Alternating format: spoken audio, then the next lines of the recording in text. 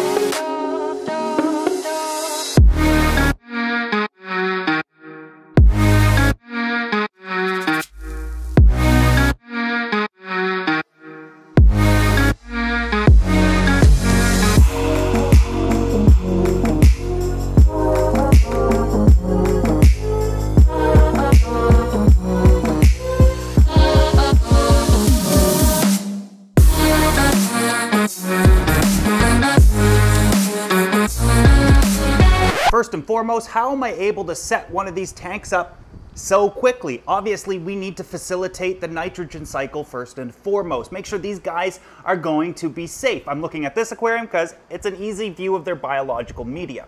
They have a surplus of biological media that I can take from and add it to another aquarium, especially these sponges. These sponges are like gold to me. I could take one of these and rinse it off in a tank, get all that mulm and detritus and jumpstart a cycle, and take some biological media that's already seeded with bacteria, toss it in the overhead sump that I already built, and we've already got a cycled aquarium. I can go ahead and add these fish directly to it. But what about quarantine? Well, obviously all fish have to be quarantined, regardless of your level of experience or what you've gone through in the past or where these fish came from. They need to be quarantined.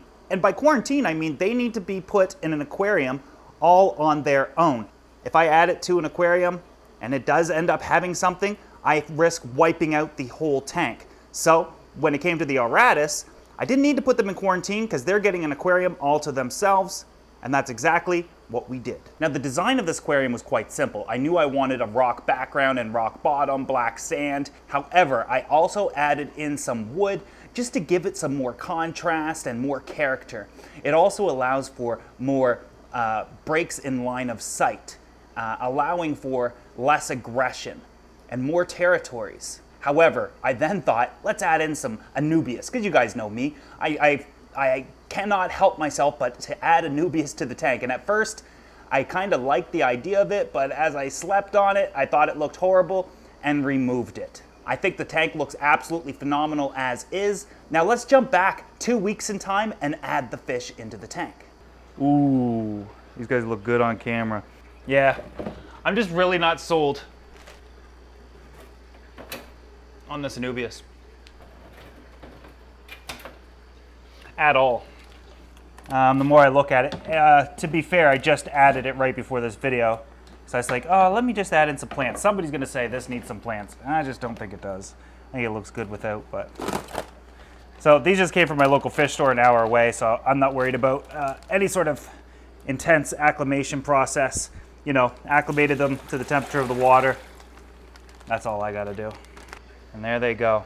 Yeah, this this uh this tank is perfect for them. I love um, I love the contrast of the wood or the fallen logs compared to the uh, the gray rocks and then the black substrate. These guys are gonna love this. Let's get them settled in. Um, we got three more bags to go.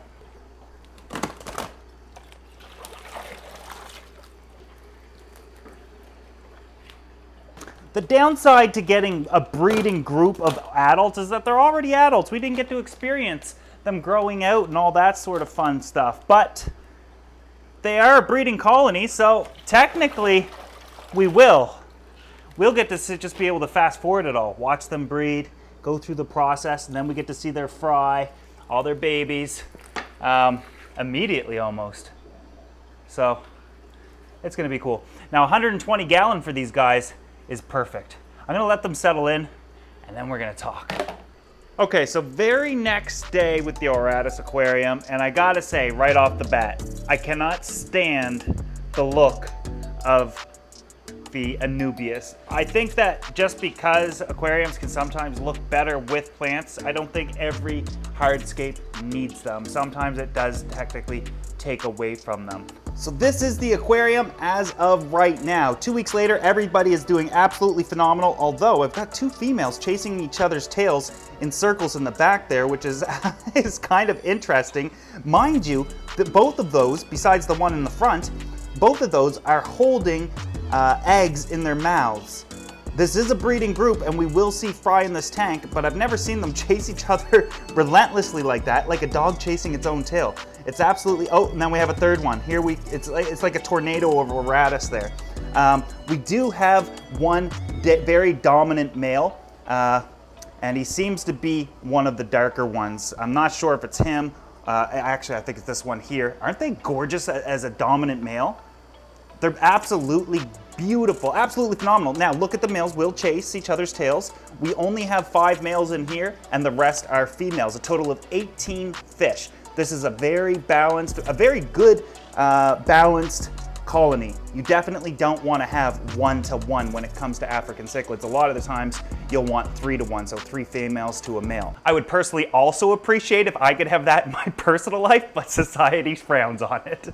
Jokes, people, jokes. With that said, this tank is just absolutely gorgeous. At first, I did not like it, and it had everything to do with the Anubias. I think it looks absolutely gorgeous right now. Very unique, very different. I'm loving the contrast of the gray rocks with the black sand.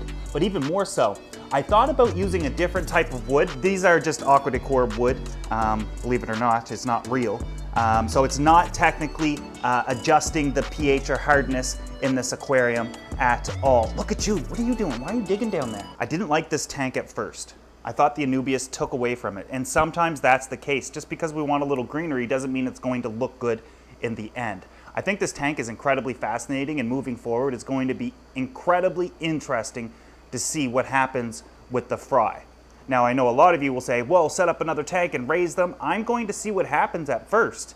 Um, and in my area, Auratus are technically not a cheap fish. They, they run about um, 30 to 40 bucks a piece. So it'd be silly of me not to try to, uh, to raise them and whatnot. But I'm all about uh, finding out what actually happens under different scenarios. You guys know that I'm doing the shell dweller experiment where I take a look at these guys and how they're going to interact in a tank all on their own.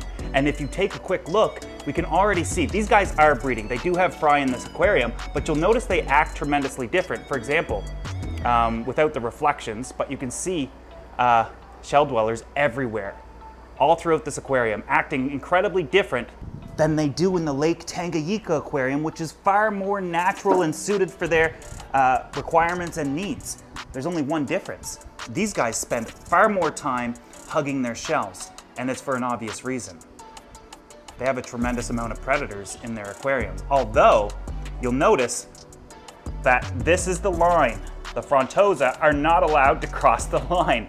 The real bosses and the real bullies in this aquarium, believe it or not, are smaller than your pinky finger. So the Auratus Aquarium, in my opinion, was a success and I absolutely love it. We'll check that one off to another aquarium Joey absolutely loves. And I gotta break these aquariums down and do uh, you know, in-depth updates for you guys here shortly at some point. Obviously, I can't just show you like little two-second clips. I know some of you get upset, but I just kind of wanted to show you that everybody's doing okay. Everybody's doing absolutely phenomenal, and I am living for this gallery right now, and I know a lot of you guys are. But if you cannot wait to see updates or you know, see things, uh, wait to see things or anything like that, um, and you don't want to see the filtered version of me, join my the members of my channel called it OnlyFins. Just go ahead and check it out if you're interested in it. It's like four bucks um, or three bucks, whatever it is.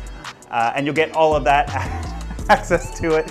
And by the sounds of things, uh, I clearly listen to what they want from me, including naming it something that I probably shouldn't. But it is my now my OnlyFins, and if you want to join, link is in the description. I'll see you guys in the next video.